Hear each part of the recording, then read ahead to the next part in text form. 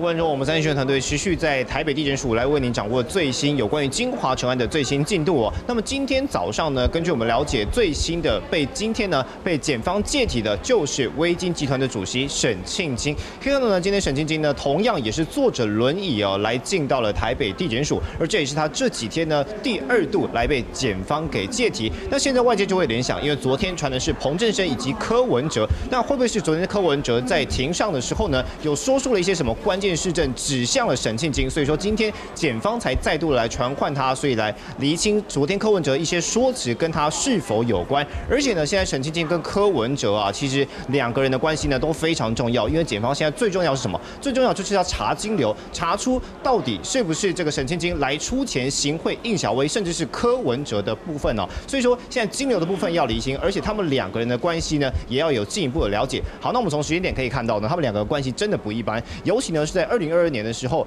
金华城的容积率是飙升到飙升到了百分之八百四十。那在隔年九月三十号，柯文哲和沈庆金甚至还单独在桃珠影园来密会哦。那在隔天呢，柯文哲就去美国了，但是途中却掉了手机。